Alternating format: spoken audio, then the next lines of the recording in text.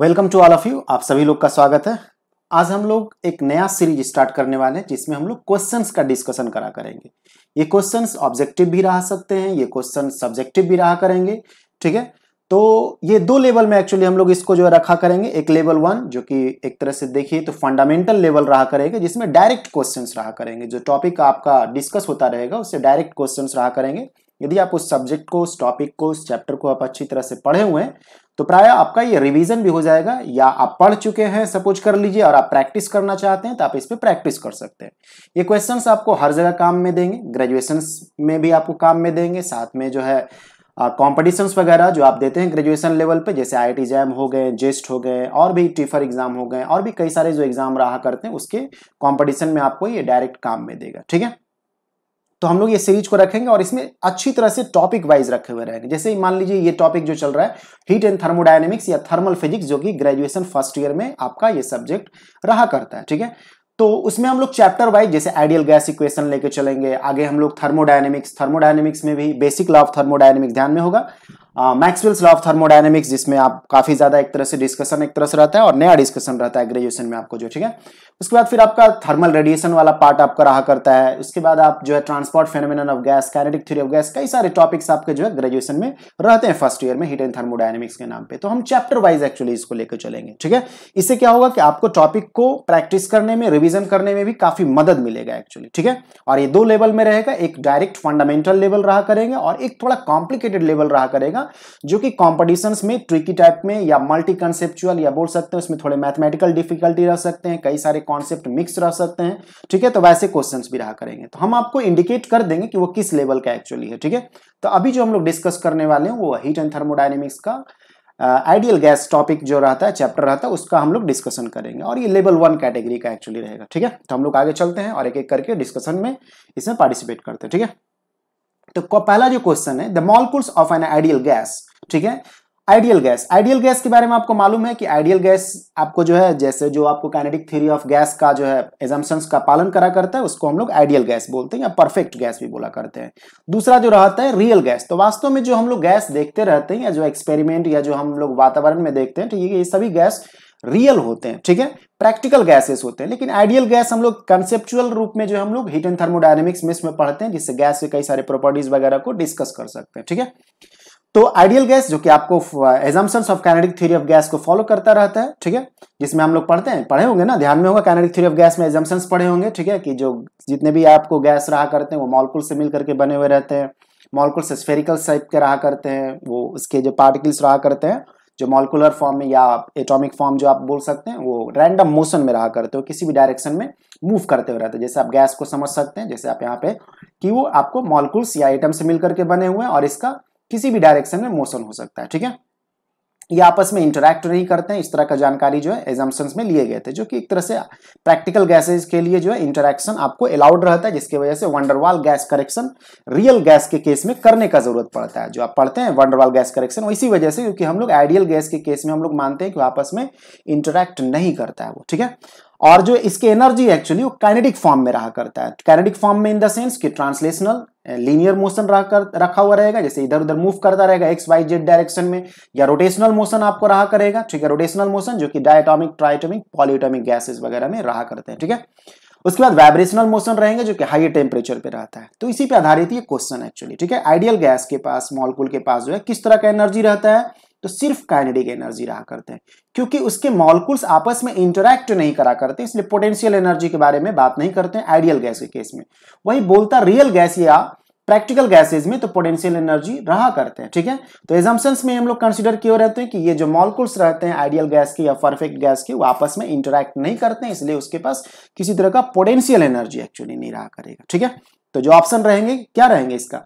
ये kinetic energy ठीक है? कैनेडिक पार्ट में रहा करेगा और ये जो एनर्जी रहते हैं कैनेडिक फॉर्म में तीन तरह से इसको एनर्जी को आप बोल सकते हैं। ट्रांसलेशनल कैनेटिक एनर्जी ठीक है? ट्रांसलेशनल कैनेटिक एनर्जी ठीक है? प्लस और क्या? Rotational kinetic energy rotational form में रह सकता है, ठीक है? प्लस हाइयर टेम्परेचर दीजिएगा तो वाइब्रेशनल एनर्जी के फॉर्म में रहेगा, ठीक है? तो ये जो दोनों आपको केस रहा करता है, ये पोलियोटॉमिक जैसे डायटॉमिक गैस रहा ट्राइटॉमिक गैस रहा, ठीक है? उस वाले केस में इसको हम लोग अप्लाई करा करते हैं। जो सिंगल मॉलिकुल्स वाले रहा करते हैं या सिंगल एटम्स वाले जो आपको रहा करते हैं उसमें हम लोग क्या करते हैं? एक तरह से जो है ट्रांसलेशनल ही काइनेटिक एनर्जी रहता है। सिंगल मॉलिकुल्स तो नहीं बोल सकते सिंगल एटम वाला जो आपको रहा करता है, ठीक है? बाकी जो मान लीजिए डबल एटम्स वगैरह का मॉलिकुल्स जो रहा करते हैं या पोलियोटॉमिक जो मॉलिकुल्स रहा करते हैं, उसमें हम लोग रोटेशनल और वाइब्रेशनल को भी कंसिडर करते हैं, ठीक है? तो हम लोग डिस्कशन में जो है, ऐसा ये ज़रूर ध्यान में रखेंगे कि हम लोग कुछ टॉपिक को इसके आगे पीछे भी हम लोग डिस्कस करेंगे, ताकि ये सिर्फ़ आंसर क्वेश्चन नहीं रह जाए, ठीक है? कि सिर्फ़ आंसर देकर के टिक नहीं मार दे, आपके इसके आगे पीछे एक तरह से डिस्कशन रहेगा, जिससे आपको अच्छा से रिविजन हो पाए, या टॉपिक के बारे में अच्छा से एक क्लैरिटी एक्चुअली मिल पाए, ठीक है? उस चैप्टर के बारे में, ठीक? नेक्स्ट क्वेश्चन में हम लोग चलते हैं। Value of Boltzmann constant. तो बोल्जमान कांस्टेंट काफ़ी पॉपुलर रहा करता है। जब भी आप थर्मोडायनेमिक्स से पढ़ते रहते हैं तो ये बोल्जमान कांस्टेंट आता है। इसको हम लोग स्मॉल के से डिनोट करते हैं। हम कर्सिव में इस तरह से लिख दिया करते हैं, इस तरह का, ठीक है? और ऐसे भी बुक में आपको डिनोट करते हैं, बल्कि मोस्ट ऑफ़ द बुक में तो इसी तरह का कर्सिव के से ही डिनोट रहते हैं बोल्जमान कॉन्स्टेंट तो ये क्या होते हैं? इसका गैस कॉन्स्टेंट के साथ रिलेशन रहता है। Gas constant divided by Avogadro number रहा करता है।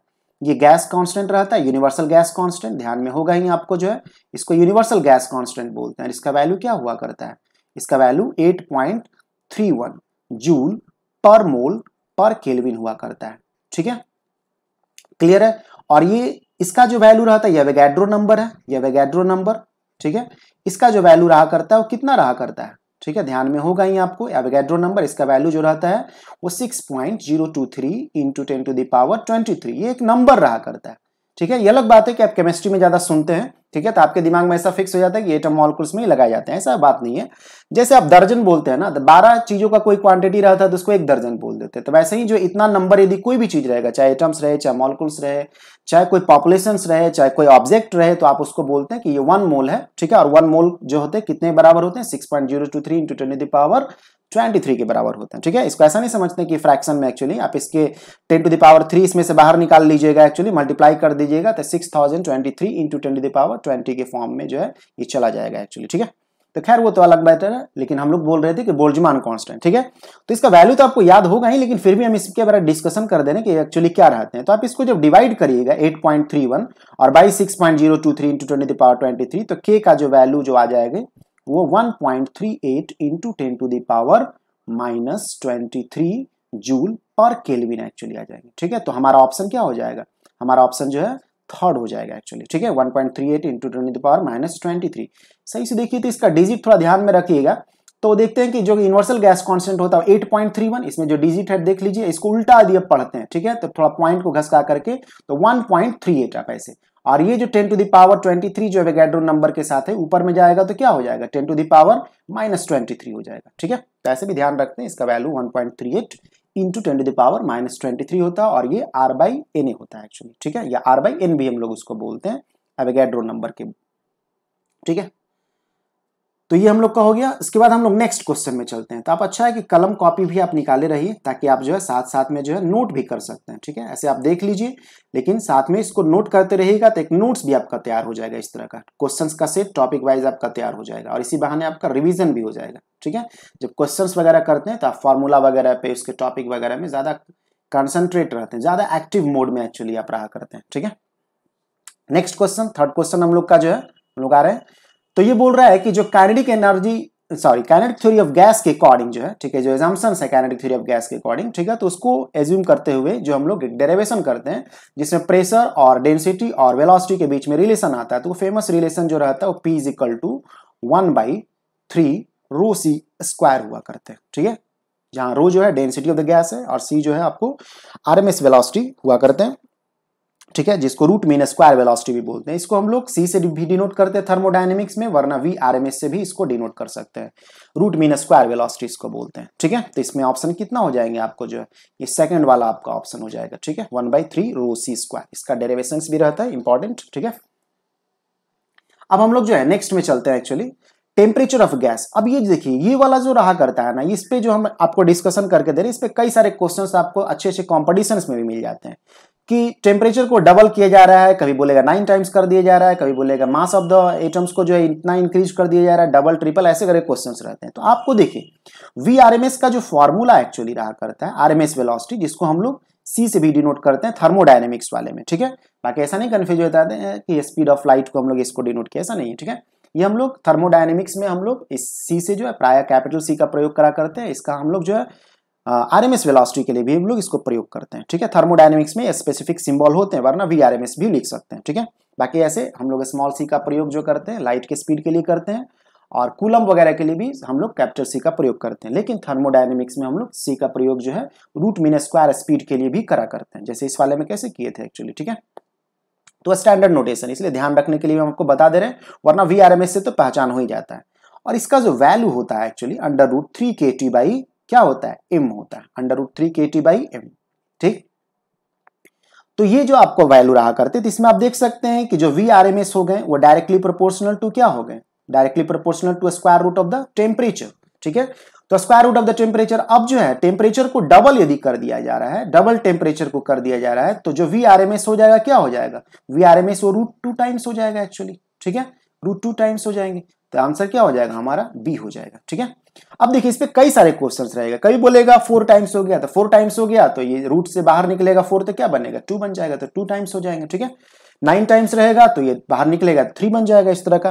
कभी कभी बोलेगा कि मास जो है एक्चुअली ठीक है, उसको डबल कर दिया गया ट्रिपल कर दिया गया, उसके बाद वीआरएमएस कितना होगा? टेम्परेचर को डबल ट्रिपल किया गया और मास को भी। तो आप इस फॉर्मूला के हिसाब से आप उसको हैंडल कर सकते हैं उस तरह का क्वेश्चन को। और ये क्वेश्चन काफ़ी पॉपुलर एक्चुअली रहता है, काफ़ी ज़्यादा पूछा जाता है, ठीक है? ईजी बातें हैं, लेकिन ये फिर भी जो है, कई बार पूछे हुए रहते हैं। आप एग्ज़ाम वगैरह में, आप देखे होंगे पेपर वगैरह जो आप सॉल्व करते होंगे तो ठीक है? इसलिए फॉर्मूला इसका ध्यान रहते हैं। बाकी आप रिलेशन ध्यान में रखे ही रहते हैं। V R M S directly proportional to square root of the temperature ठीक है? थोड़ा हम स्पीड में नहीं चल रहे, हम चाहते हैं कि वीडियो ज़्यादा लंबा नहीं खींचे लिए ज़्यादा से ज़्यादा कंटेंट आपको कम समय में मिले, इसलिए जो है हम आपको तेज़ी से थोड़ा जानकारी देते जा रहे हैं, ठीक है? बाकी आप नोट कर सकते हैं, बाकी रिपीट करके भी देख सकते हैं। अब देखिए, दूसरा जो क्वेश्चन आपका जो है, पांचवा क्वेश्चन जो आपका है, ठीक है? एवरेज वेलोसिटी नेक्स्ट क्वेश्चन जो है average velocity of the molecules in a gas in equilibrium क्या हुआ करते हैं? तो देखिए एवरेज वेलोसिटी तो देखिए, कोई भी आपका जो मॉलिक्यूल्स या एटम्स जो रहा करते हैं आइडियल गैस के केस में या परफेक्ट गैस के केस में, ठीक है, वो रैंडम मोशन में रहता है। उसका कोई फिक्स डायरेक्शन नहीं रहता। कोई किधर मूव कर रहा है, कोई किधर मूव कर रहा है। तो कोई भी रैंडम डायरेक्शन में वेक्टर एक्चुअली रहता है तो उसका एवरेज जो वैल्यू आया करता है, वो ज़ीरो आता है। तो यहाँ भी जो वी एवरेज होंगे, ठीक है वी एवरेज एवरेज वेलोसिटी जो हो जाएँगे ठीक है? किसका? मॉलिक्यूल्स का ऑफ़ आइडियल गैस ठीक है? वो आपको क्या होंगे? ज़ीरो हुआ करेंगे। तो इसमें जो वैल्यू होंगे, इसमें आपको ऑप्शन तो ऊपर वाले में देख ही रहे हैं कि उसमें ऑप्शन टेम्परेचर पे है, एक और ऑप्शन नीचे होंगे, ठीक है? इक्वल टू ज़ीरो ठीक है? तो यही हम लोग का जो ऑप्शन होगा, ठीक है? ये ये ऑप्शन होगा, ठीक है? इक्वल टू ज़ीरो ठीक? नेक्स्ट क्वेश्चन में चलते हैं। नोट भी कर रहे होंगे, चीज़ें अच्छा भी लग रहा होगा आपको, जो है, ठीक है? साथ में आपके दिमाग में चैप्टर जो एक तरह से रिकैप हो रहा होगा रिफ्रेश हो रहा होगा क्वेश्चन करने से यही फ़ायदा रहा करता है। साथ में आपका कंपटीशन वगैरह का भी तैयारी होता रहता है और कुछ तो ग्रेजुएशन में भी जो है कुछ के यूनिवर्सिटी में ऑब्जेक्टिव क्वेश्चन पूछे जाते हैं तो उनमें डायरेक्ट काम आ जाएगा एक्चुअली जो है, ठीक है? और कॉम्पिटिशन जिसमें ऑब्जेक्टिव भी रहा करते हैं अधिकतर, उसमें तो आपको काम आएगा ही आएगा, ठीक है? बस ये लेवल वन कैटेगरी का क्वेश्चन है फंडामेंटल डायरेक्ट क्वेश्चन है, ठीक है? अब हम लोग आते हैं नेक्स्ट क्वेश्चन जो कि हम लोग का छठा नंबर क्वेश्चन है। The average energy of molecules of monoatomic gas ये ध्यान रखते हैं। कभी कभी आपको बोलेगा डायटोमिक कभी ट्राइएटॉमिक कभी पोलीटॉमिक ऐसे करके बोलेगा। तो अलग अलग जो गैस होते हैं, ठीक है, जो पोलीएटॉमिक में आएँगे डायमोटोमिक ट्राइटॉमिक तो उसमें जो है वैल्यू चेंज करते हैं डिग्री ऑफ़ फ्रीडम का, जिसके बारे में हम लोग आगे डिस्कस करेंगे एक्चुअली तो ये जो एक्चुअली बोल रहा है कि the average energy of molecules of monoatomic gas तो मोनोएटॉमिक गैस जो रहा करते हैं, जैसे आपका नोबेल गैस के जितने भी जो नोबेल गैस जितने भी रहते हैं मोनोएटॉमिक फॉर्म में रहते हैं। जैसे हीलियम हो गए नियोन हो गए जेनॉन हो गए, ये सभी जो है, वो मोनोएटॉमिक फॉर्म में रहते हैं। ठीक है? इसका डबलिंग वगैरह नहीं हुआ करता है, ठीक है? तो ये मोनोटामिक गैस रहा करता है। तो बोल रहा है कि मोनोएटॉमिक गैस का जो है पर्टिकुलर टेम्परेचर टी पे जो है, उसके एवरेज एनर्जी कितना हुआ करेंगे। तो according to the Maxwell Boltzmann distribution law आप जानते हैं एक्चुअली कि average energy associated with each molecules जो हुआ करते हैं, क्या होता है? For each degree of freedom average energy E average जो रहा करेगा, ठीक है? फॉर ईच मॉलिक्यूल्स हर एक मॉलिक्यूल्स के लिए, ठीक है? वो क्या रहा करते हैं? For each degree of freedom one by two K T तो धड़ से आप इसको देख करके इस पर टिक मत मार दीजिएगा। ये for each degree of freedom ये ध्यान रखते हैं for each degree of freedom each degree of freedom degree of freedom अब जो है, तीन डिग्री ऑफ़ फ्रीडम जो है मोनोटॉमिक गैस का रहा करता है। मोनोटॉमिक का जो है, तीन डिग्री ऑफ़ फ्रीडम रहा करता है मोनोएटॉमिक का। ठीक है? तीन डिग्री ऑफ़ फ्रीडम जो कि एक्स डायरेक्शन में मोशन या वाई डायरेक्शन में, जैसे मॉलिक्यूल्स जो एक्चुअली रहा करते हैं, वो either in X Y Z direction आपको मूव कर सकते हैं तो इसके पास तीन डिग्री ऑफ़ फ्रीडम रहते हैं। ठीक है? तीन डायरेक्शन में इसके पास जो है, क्या हो सकते हैं? ट्रांसलेशनल मोशन हो सकते हैं। ठीक है? इसी को रिप्रेजेंट करता हुआ रहता है, ठीक है? तीन डायरेक्शन में ट्रांसलेशनल मोशन हो सकते हैं तो वही तीन डिग्री ऑफ़ फ्रीडम हुआ। तो एवरेज एनर्जी जो होंगे, ठीक है, ये तीनों डिग्री ऑफ़ फ्रीडम को कंसीडर करते हुए फॉर ईच मॉलकुल कितने होंगे, ठीक है? कितने होंगे? तीन से मल्टीप्लाई कर दीजिएगा तो three by two K T actually हो जाएगा। तो आंसर क्या होगा? Three by two K T for monoatomic वही आपका डायटोमिक देता तो उसमें जो डिग्री ऑफ़ फ्रीडम होते हैं नॉर्मल टेम्परेचर पे, वो फाइव हुआ करते हैं। तो फाइव से आप उसको जो है मल्टीप्लाई करते हैं, ठीक है? तो ये मोनोएटॉमिक गैस के लिए एक्चुअली बोल रहा है, ठीक है? तो मोनोएटॉमिक गैस के लिए जो three by two K T actually होंगे, ठीक है? अब हम लोग जो है आते हैं नेक्स्ट में जो, ठीक है? इसमें थोड़ा डायटोमिक का जो है कॉन्सेप्ट इसमें इस्तेमाल किया हुआ है। असंयोग से जो है इसमें दोनों क्वेश्चंस में आपको रखा हुआ है। देख सकते हैं कि सेवेंथ नंबर में भी डायटोमिक के बारे में कुछ बात कर रहा है और यहाँ भी डायटोमिक तो हम लोग थोड़ा इसका क्लियर कॉन्सेप्ट कॉन्सेप्ट ही ले ले रहे हैं एक्चुअली ठीक है? क्लियर कॉन्सेप्ट ले ले रहे हैं ताकि हम लोग इन दोनों क्वेश्चंस को जो है समझ पाए। देखिए दोनों क्वेश्चन लगभग एक टाइप का है। कभी कभी आदमी कंफ्यूजन में दोनों का आंसर सेम मार सकता है, लेकिन वो अलग अलग है एक्चुअली ठीक है? अभी आते हैं तो मालूम चलेगा, ठीक है? तो चलते हैं। देखिए अब, खास बात, पहले तो आपको मालूम है कि जो गामा होते हैं, वही सीपी बाई सीवी होते हैं। होते हैं कि नहीं होते हैं, ठीक है? इसको एडियाबेटिक कांस्टेंट भी बोलते हैं या स्पेसिफिक हीट गैस कांस्टेंट भी बोला करते हैं, ठीक है? इसको एडियाबेटिक कांस्टेंट भी बोला करते हैं या स्पेसिफिक हीट गैस कांस्टेंट भी बोला करते हैं, ठीक? अब जो है, हम लोग के पास डिग्री ऑफ़ फ्रीडम एक्चुअली जो है, ठीक है, ये बोल ही रहा है कि डायटोमिक मॉलिक्यूल्स है और ट्रांसलेशनल तो ट्रांसलेशनल वाला जो है, इसके पास तीन डिग्री ऑफ़ फ्रीडम रहा करते हैं ट्रांसलेशनल वाला, तीन डिग्री ऑफ़ फ्रीडम ठीक है? रोटेशनल जो हो सकते हैं डायटोमिक के लिए, ठीक है? डायटोमिक के लिए ये दो हो सकते हैं। ठीक है? जैसे डायटोमिक मॉलिक्यूल से जैसे आप समझ लीजिए हाइड्रोजन मॉलिक्यूल हो गए, जैसे डायटोमिक के केस में आप बोल सकते हैं, जैसे हाइड्रोजन हो गए H two O two N two C L two ठीक है? जो भी डायटोमिक सीओ ठीक है? ये सब डायटोमिक गैसेज एक्चुअली ठीक है? तो बोला जा रहा है तो उसके पास ट्रांसलेशनल एनर्जी होंगे, जो मॉलिक्यूल्स एक्चुअली रहा करेंगे, ठीक है? उसके पास जो है ट्रांसलेशनल एनर्जी रहा करेंगे, ठीक है? ये डायटोमिक आप इस तरह से पेयर करके रूप में इसमें इमेजिन कर सकते हैं, ठीक है?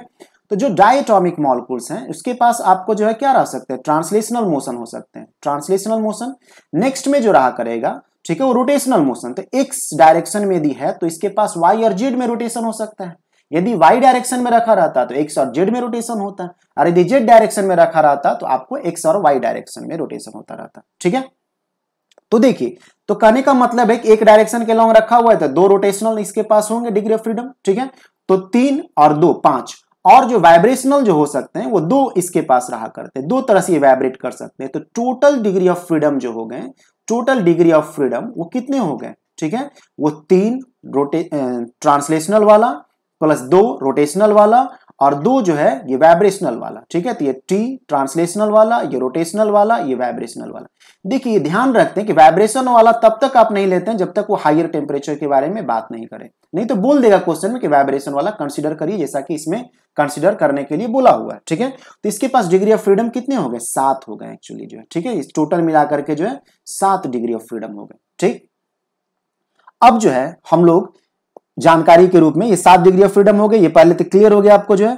अब जो है आपको मालूम है कि एनर्जी जो एसोसिएट रहेंगे, ठीक है? इसी, यहीं पे हम लोग थोड़ा कर दे रहे हैं, ठीक है? एनर्जी एसोसिएट जो रहेंगे क्योंकि दोनों क्वेश्चन एक ही टाइप में आ रहा है, इसलिए एनर्जी एसोसिएटेड ठीक है? विथ ईच मॉलिक्यूल्स हर एक मॉलिक्यूल के साथ जो है, जो कि डायटोमिक हम लोग का यहाँ केस है, ठीक है? विथ ईच मॉलिक्यूल्स ठीक है? विथ ईच मॉलिक्यूल्स वो कितने हुआ करेंगे, ठीक है? उसके पास डिग्री ऑफ़ फ्रीडम कितने रह रहे थे, ठीक है? सेवन ठीक है? और बाई टू बोले थे ना कि एक डिग्री ऑफ़ फ्रीडम से एसोसिएटेड वन बाई टू होता है तो सातों से क्या हो जाएगा? Seven by two K T हो जाएगा एक्चुअली ठीक है? तो ये जो seven by two K T for each molecule है। तो आप इन मॉलिक्यूल के साथ या वन ग्राम मॉलिक्यूल के साथ काम करिएगा तो वन ग्राम मॉलिक्यूल के साथ आप यदि बोलते हैं वन ग्राम मॉलिक्यूल के साथ, इसका मतलब हो रहा है वन ग्राम मॉलिक्यूल का मतलब क्या? वन मोल के साथ।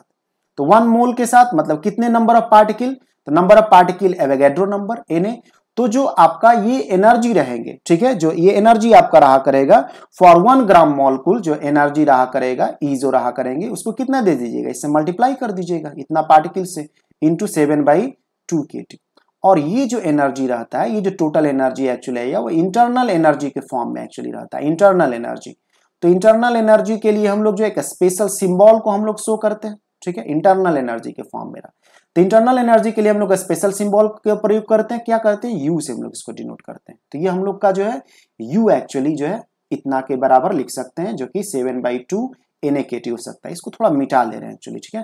ताकि थोड़ा सा हम लोग को जगह यहाँ पे मिले, हम लोग इसको फिर वापस जो है, वहाँ पे लिख पाएँगे, ठीक है? बाकी इसको नोट कर लिए होंगे, वरना आप पीछे का रिपीट करके जो आप उसको नोट कर सकते हैं। ये सब समझाने के लिए हम आपको किए थे। थोड़ा जगह चाहिए एक्चुअली एक्सप्लेनेशन के लिए फर्दर हम इस पूरे टॉपिक को ही क्लियर कर दे रहे हैं हम आपको। जो इससे रिलेटेड अब कोई भी क्वेश्चन उठेगा ना एक्चुअली ठीक है?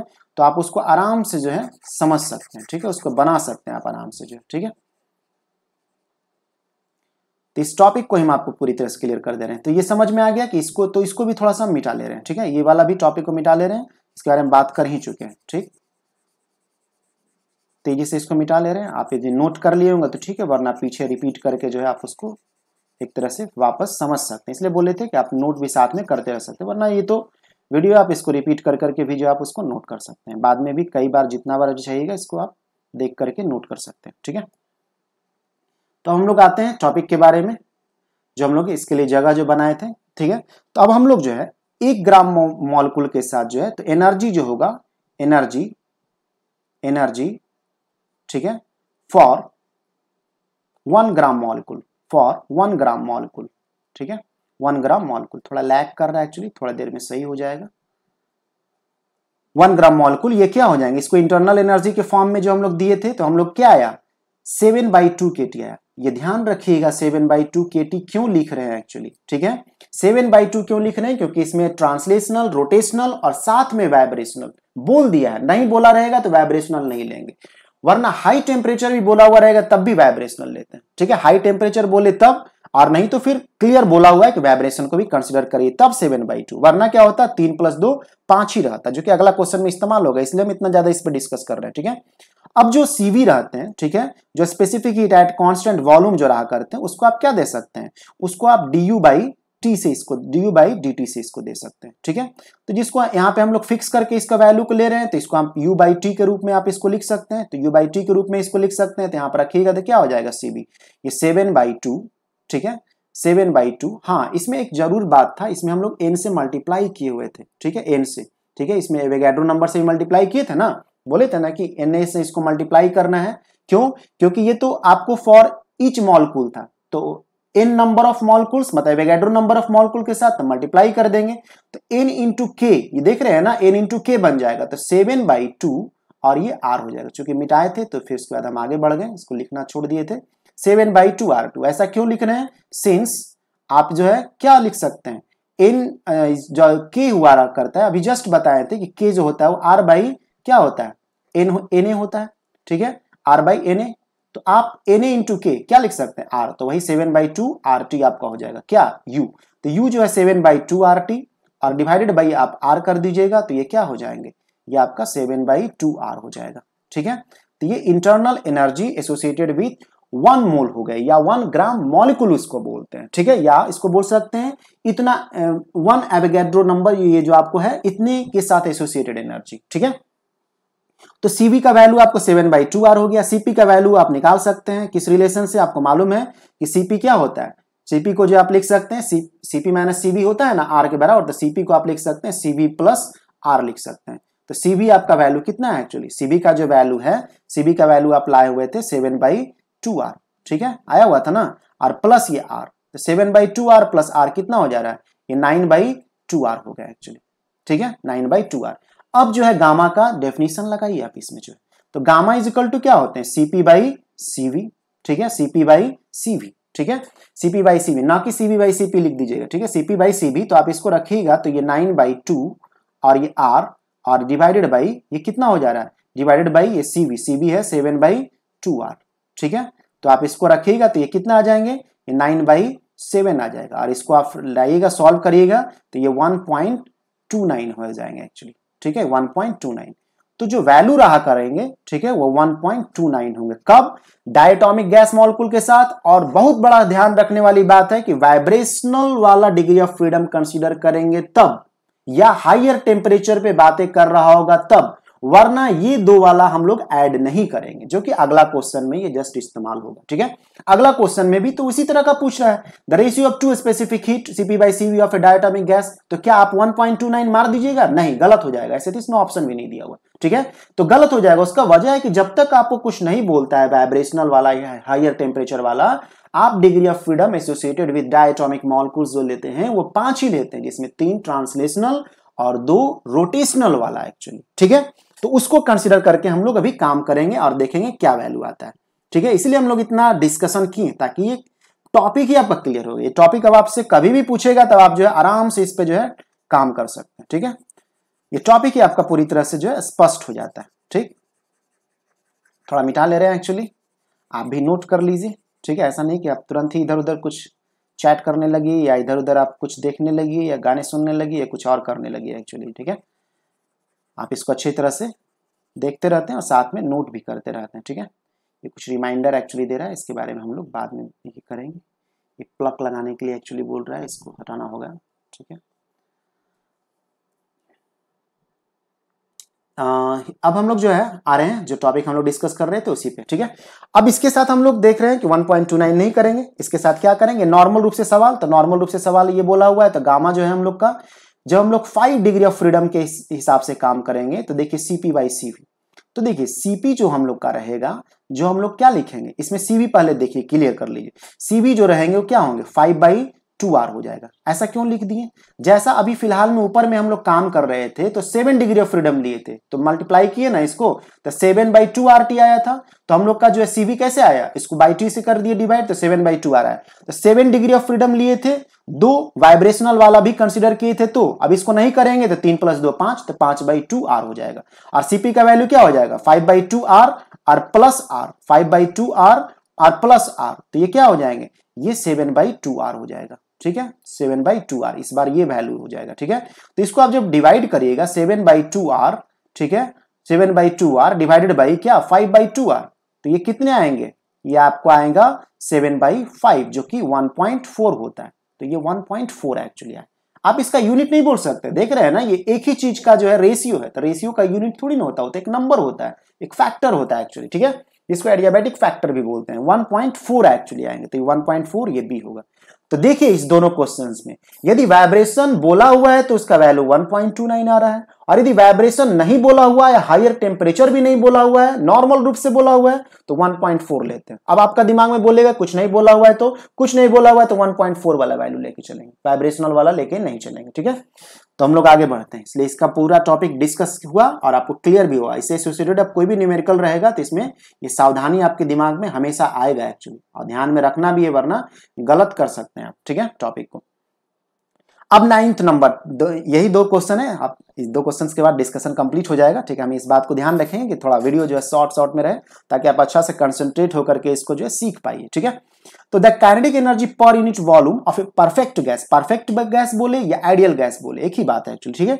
इज़ इक्वल टू तो देखिए, पहले इसके बारे में हम लोग जानकारी थोड़ा सा दे दे रहे काइनेटिक एनर्जी जो हुआ करते हैं kinetic energy per unit volume per unit volume kinetic energy per unit volume जो रहा करते हैं फॉर परफेक्ट गैस जो रहा करते हैं, वो कितना वैल्यू का हुआ करता है? One by two rho C square होता है। आप इसको दिमाग पर रखने के लिए आप कुछ ऐसा दिमाग पर रखिए वन बाई टू जैसे लिखते हैं ना हाफ़ एम बी स्क्वायर ठीक है? तो M mass divided by volume, कर दीजिएगा तो क्या हो जाएगा? रो बन जाएगा। तो half rho C square actually, ठीक है? तो kinetic energy per unit volume हो गया या एनर्जी डेंसिटी भी इसको बोलते हैं।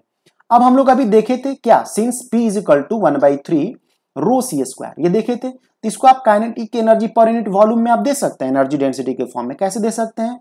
इसको आप ऐसे करके लिख सकते हैं ना two by three into one by two rho C square ऐसा लिख देने से क्या हो गया कि ये तो वन बाई थ्री ही रह गया। टू टू कट जाएगा ना? और रह गया वन बाई थ्री लेकिन ऐसा लिखने से आपको जो है, आप इसको kinetic energy per unit volume के टर्म में इसको लिख दी ये वाला जो है, इसको हम लोग इंडिकेट यदि सपोज़ कर लीजिए ईवी e से करते हैं kinetic energy per unit volume EV से। ठीक है? तो ईवी e के रूप में आप इसको लिख दिए। तो यहाँ से ईवी e हम लोग का क्या हो गया एक्चुअली ईवी जो हो गया हम लोग का, वो थ्री बाई टू और ये थ्री बाई टू ये क्या हो गए? ये थ्री बाई टू और ये पी ठीक है? थ्री बाई टू पी तो आपका ऑप्शन क्या हो जाएगा? थ्री बाई टू पी हो जाएगा, ठीक है? अब लास्ट क्वेश्चन लास्ट क्वेश्चन ये है आपका जो है for a gas the RMS speed at 800 hundred is बोले तो ये क्वेश्चन बहुत पॉपुलर रहता है ये आरएमएस वाला जो है। V RMS directly proportional to the square root of the temperature तो बोल रहा है कि 800 केल्विन पे, ठीक है, जो आरएमएस स्पीड था, वो 200 केल्विन के तुलना में कितना होगा एक्चुअली तो देखिए 200 पहले 800 था। तो 800 जो है, उसको 200 के टर्म में लिखिएगा तो कैसे लिख सकते हैं? 4 इंटू टू लिख सकते हैं। लिख सकते हैं ना? तो फोर इंटू टू हंड्रेड लिख सकते हैं। तो टू हंड्रेड के टर्म में ही आपसे बोल रहा है। तो इसको टू अंडर रूट 200 टी बोल सकते हैं। तो 200 के तुलना में क्या हो जाएगा? टू टाइम्स हो जाएगा। तो ऑप्शन क्या है हम लोग का? Twice times the value of 200 kelvin इसमें और भी नीचे ऑप्शन था, लेकिन वो एक्चुअली आंसर में नहीं आएँगे आपको जो है। ठीक है? आप इसको देख सकते हैं। ठीक है?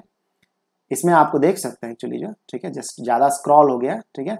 लास्ट ऑप्शन तीन ही ऑप्शन दिया हुआ था ना लास्ट भी ऑप्शन थी, लेकिन हम लोग का जो है उधर कहीं ऑप्शन मिल गया। Same as at two hundred kelvin तो ये तो होगा नहीं, होगा क्या? Twice times the value of two hundred kelvin ठीक है?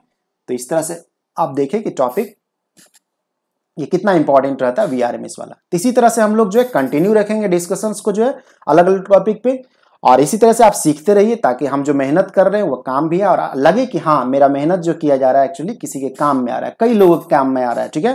तो आप इसको शेयर भी करते रहते ताकि कई लोगों के पास जो है ये जानकारी जो है पहुँचे और कई लोग को इसका फ़ायदा भी एक्चुअली मिले, ठीक है? और आप भी इसका जो है फ़ायदा उठाते रहते हैं नोट्स भी बनाते रहते हैं। इससे क्या होगा, हर एक टॉपिक वाइज का आपका नोट्स रह जाएगा बाकी कभी भी आप देखना चाहिएगा तो आप वीडियो को कभी भी जो है आप यूट्यूब पे जो है देख सकते हैं, ठीक है?